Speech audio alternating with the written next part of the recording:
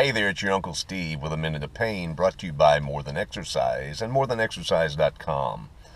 And today I want to talk to you about your lifestyle. Now, I'm not talking to everybody, but like I tell folks when I go to speaking engagements, if you think I'm talking about you, I probably am. Your lifestyle is killing you.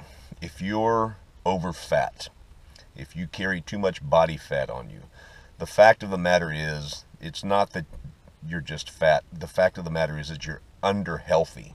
You are not healthy. Your fat is killing you. If you've got too much fat on your body, and specifically I'm talking about visceral fat, the type of fat that surrounds your organs, that compromises your health on a daily basis, you're more prone to high blood pressure, you're more prone to cardiovascular diseases, you're more prone to things like um, bone loss or diabetes or liver conditions, digestive disorders. All those things affect you if you're carrying too much body weight on you, if you've got too much fat on you. You've got to change your lifestyle. I talk with too many people who are too young to be as sick as they are, and it's disheartening. It's it's hard to deal with. People who are in their early 40s to early 60s who are in such bad shape because they their lifestyle is killing them. They're eating too much sugar, they're eating too much junk food, they're drinking too many sugary calories. They're not taking care of themselves.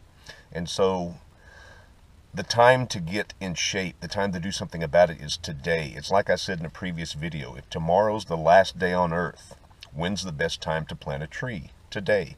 Get started today. Simple changes. It doesn't have to be a dramatic, huge all encompassing, compromising change, simple changes. You know, go from from eating or drinking, say, coffee with two scoops of sugar in it, just go to one scoop of sugar. Start making incremental changes. Slowly adapt new habits into your lifestyle. If you try to do too much at once, you're going to feel like you're drinking from a fire hose. You're going to get overwhelmed and you're going to stop. So start making simple changes. It, it's not rocket science, folks.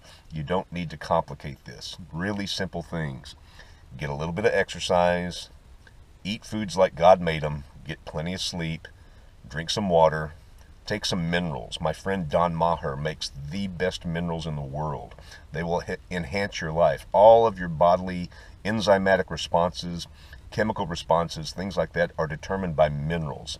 When you're concerned about being dehydrated, it's not just a factor of not enough of, of an aqueous liquid in your body. It's a factor of losing minerals. So you've got to replenish those minerals. You do that, make those simple changes, your lifestyle changes. Your health improves, you live longer, you feel better, you look better. So get these things done. You can do it. And if I can be of service, if I can help somehow, here's my email address, here's my phone number. Get a hold of me. Let me help you. Now, please, you think about that.